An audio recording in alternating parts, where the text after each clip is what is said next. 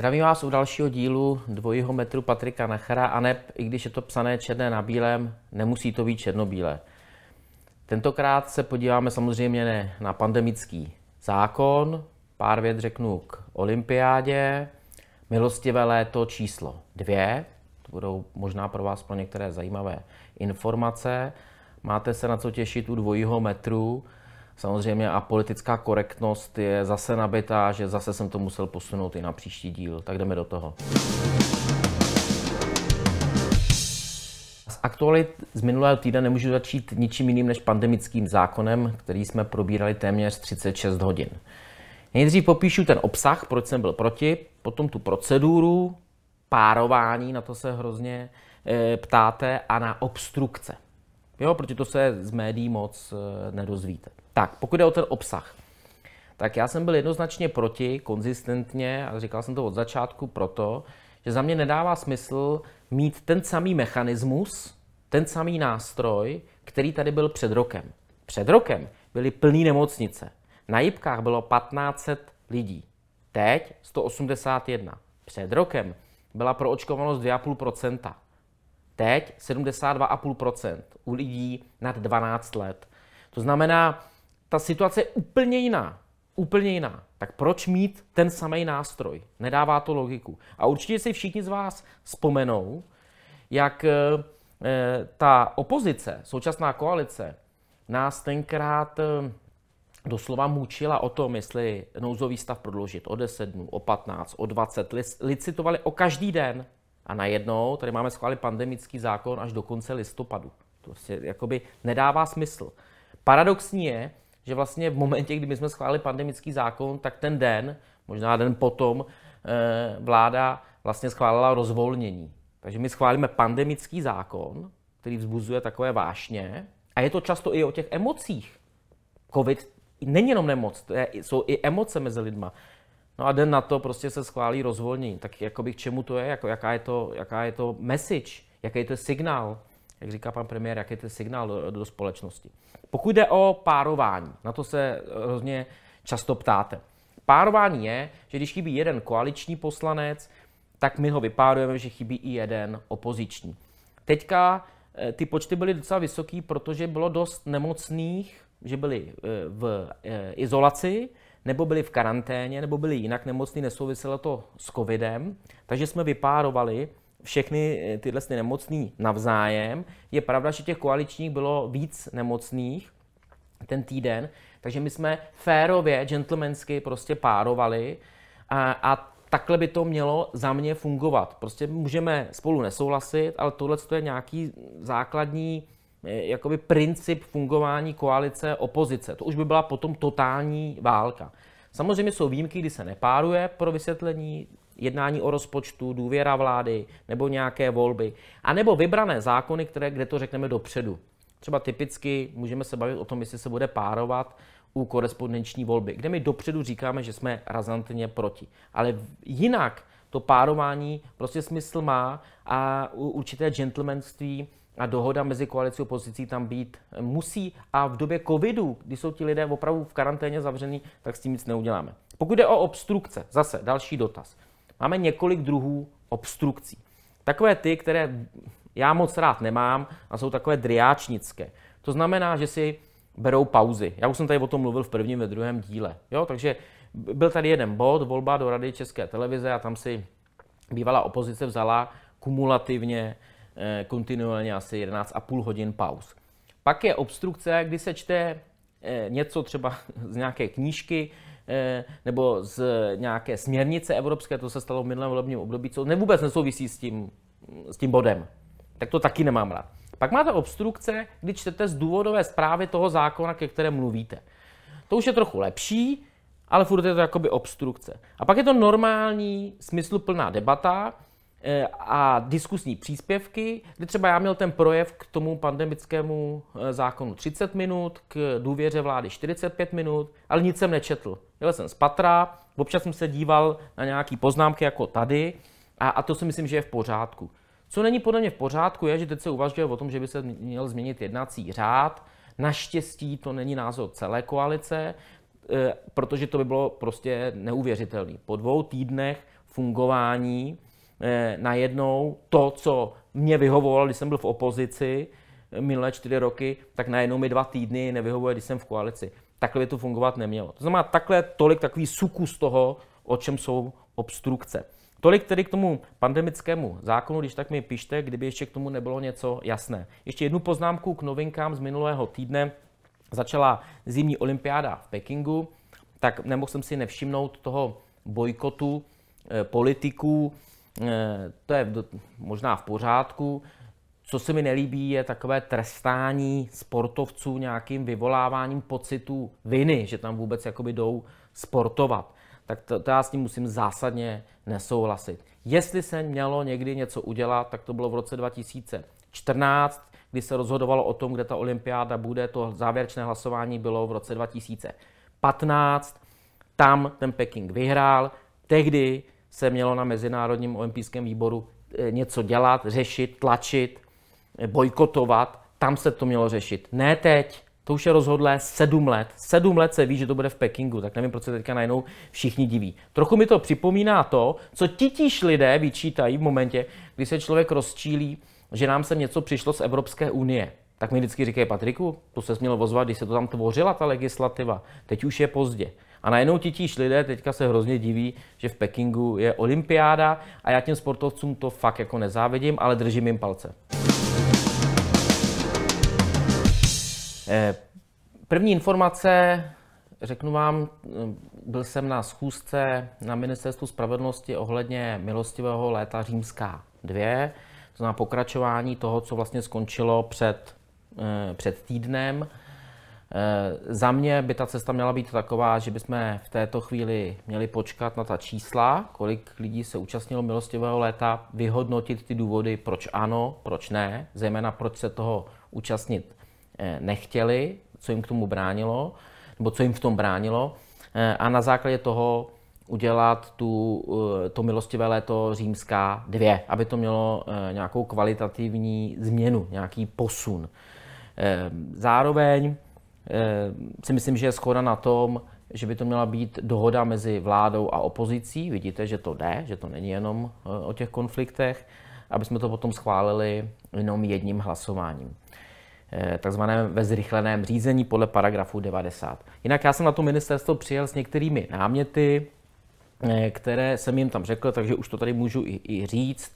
Jedna z nich byla definování doby reakce pro exekutora Eh, aby to bylo do deseti dnů. Vím, že jsme se tam bavili o tom, že se to vlastně pohybuje dneska ty návrhy mezi 10 a 30 dny, tak uvidíme.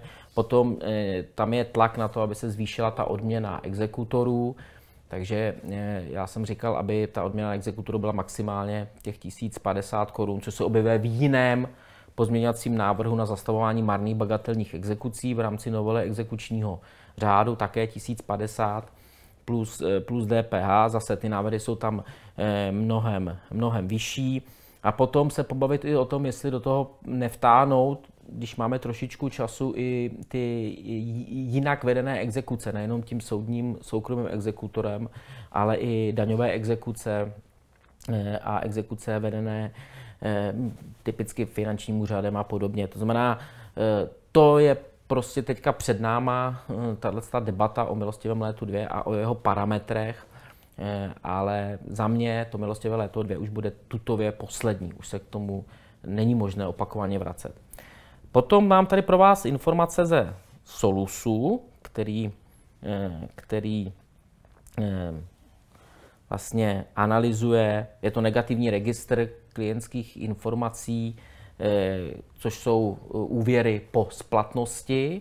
Eh, hrozně zajímavá čísla, že i přes ten COVID a přes ty komplikace a přes vlastně vyšší počet exekucí, mimochodem za loňský rok, za loňský rok byl vyšší počet exekucí, ale počet lidí v exekuci klesl. To je mimochodem zajímavá informace. Tak tady o 50 tisíc občanů méně než na konci roku 2020 má ten svůj závazek po splatnosti. Je to 456 tisíc obyvatel a je to o 50 tisíc méně než, než rok předtím a předtím to bylo zase o 50 tisíc méně, to znamená, že to postupně klesá. V této chvíli je to nejnižší číslo, od kdy ten Solus to měří. Tak jsem zvědav, tady uvidíte takovou tabulku, jak je to po jednotlivých krajích, ehm, tak jsem zvědav, jak se ta situace eh, bude vyvíjet. A teď mám pro vás kulomet politické korektnosti.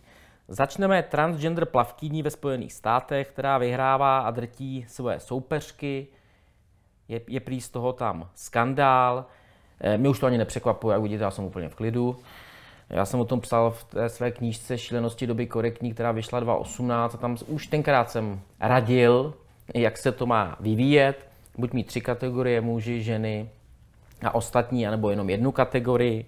No, tady transgender Eh, plavkyni zařadili mezi ženy, ona je drtí, oni jsou smutné, tak, eh, tak jsem zvědav, eh, jak dlouho to ještě takhle bude fungovat. V Norsku mají nové neutrální zájmeno hen. Tak to jen tak jako pro informaci. Uvidíme, jak se to chytne a uvidíme, jaká neutrální zájmena doputují k nám. Pokud nějaká budou nebo už nějaké máte, tak mi určitě pošlete. Já se jim tutově této části eh, videa budu věnovat. Eh, že ty změny jsou skutečně někdy i mikroskopické a úplně nepochopitelné je, když se podíváte na MM lentilky. Jo? Eh, když tam vidíte tu hnědou lentilku, tak ta měla původně vysoké, vysoké podpatky na jehlách, teď je má nižší. Když se podíváte na tu zelenou, tak ta původně měla kozačky teď tam má nějaký normální tenisky. Nevím, jako, jestli to třeba provokovalo, jakože ženy na vysokých eh, podpatkách, eh, které mají znázorňovat lentilky, no ono už, já teď jsem se zamotal, už to samotný je prostě bláznivý, proč se tyhle věci měnějí. No nic. Ukončím politickou korektnost e, novými, e, novými emotikony, které doputovaly i do Apple a je to těhotný muž. Tady máte eh, všechny ty obrázky všech těhotných mužů a tady k tomu já už snad ani nebudu to ani nějak komentovat. Eh, tentokrát eh, jsem pro vás vybral vyjádření Markety Pekarové Adamové, kde v momentě, kdy ona byla v opozici, tak ve vztahu k Turovu, což je mimochodem také důležité téma z minulého týdne, ale odborně to jde úplně mimo mě, eh, tak pronesla. Ekonomické zájmy Polska nesmí být výš než osud jediné české studny. Pak se to může tady přečíst vedle, přečtu to podstatné. Polský návrh, že by nám snad vodu kompenzovali penězi, je směšný a nikdy by ho neměl ani na moment zvažovat. Naopak česká vláda se už musí konečně vzpamatovat a využít všechny možnosti mezinárodního evropského práva, aby tomu zabránila. No a teďka čerstvé stanovisko Markety Pekarové Adamové. Co se nepovedlo minulé vládě, zvládla naše. Jsem ráda, že máme premiéra, který se umí dohodnout a zároveň je dostatečně tvrdý. Máme možnosti, jak kontrolovat činnosti v dole Turov, jsou poskytnuty záruky ochrany životního prostředí a pozor, teď to přijde, a obdržíme také finanční kompenzace. No, vidíte, dvojí metr, tak to ani nemusím komentovat, myslím si, že je úplně jasný. Předtím to bylo špatně, žádný peníze, nic. Teďka naopak se s tím ještě pochlubíme, že jsou ty kompenzace. Mimochodem na ten názor, na ten důl Turov, nechci udělají e, obrázek e, lidé podle toho, co říkají ti místní. To bylo mimochodem dobré slyšet. Ale říkám, já to nebudu obsahově nějak hodnotit, protože jsem, protože tomu nerozumím, jde to mimo moji, moji odbornost. Eh, druhý dvojí metr vidíme v tom, jak eh, tato vláda kritizovala tu předchozí, eh, že ta její komunikace je nepředvídatelná, nesrozumitelná, nejasná, něco se řekne dopoledne, odpoledne už to neplatí a podobně. No tak tady mi úplně nahráli tou zprávou z minulého týdne, kde hygienické stanice dostaly zprávu od ministerstva zdravotnictví, že mají propouštět. Jo, během jednoho dne tiskový mluvčí nejdřív tu zprávu nedementoval, nevyvracel, pak ji, pak teda dementoval a pak označil, že šlo o chybu. E, doteďka nevíme teda, čí chybu, jestli se teda má propouštět, nemá, nebo chyba byla, že to uniklo ven a propouštět se bude, těch kombinací tam je nekonečně mnoho. Nicméně je to, je to citlivé, protože to všechno teďka stojí na těch hygienických stanicích a zároveň je to o tom, že tato vláda říkala, že to bude dělat tedy lépe, jinak a bude to komunikace srozumitelná. To mě moc nepřijde. Poslední kapitola, zajímavé komentáře na sociálních sítích. Tentokrát ten komentář na první pohled zajímavý být nemusí, ale v tom kontextu třeba změníte názor. Světlana Vitovská, a jak se vám líbil způsob, jakým se Alena Schillerová popasovala se složitou materií ministerstva financí? Na co to byla reakce? Na můj sarkazmus, ironie, nadsázku, jak chcete. Kdy jsem komentoval eh, tweet Jana Lipavského, který se chystá na Ukrajinu, tváří tvář ruské agresi. A on ten slovník tady je permanentně takový, jako militantní, takový jako bojovný. Když se podíváte na výroky třeba německých politiků, tak ty jsou mnohem uvážlivější, to je, to, to je zajímavý pohled, ale my jsme takový hrozně bojovní. Tak jsem napsal, na to se po celém světě všichni nedočkavě těšili, tohle je bomba, která změní aktuální situaci. Všimněte si, žádné zprosté slovo, žádná vulgarita, žádná nějaká extenzivní ironie, něco, co by jako museli všichni hned začít pana ministra bránit. No a ono se tak stalo.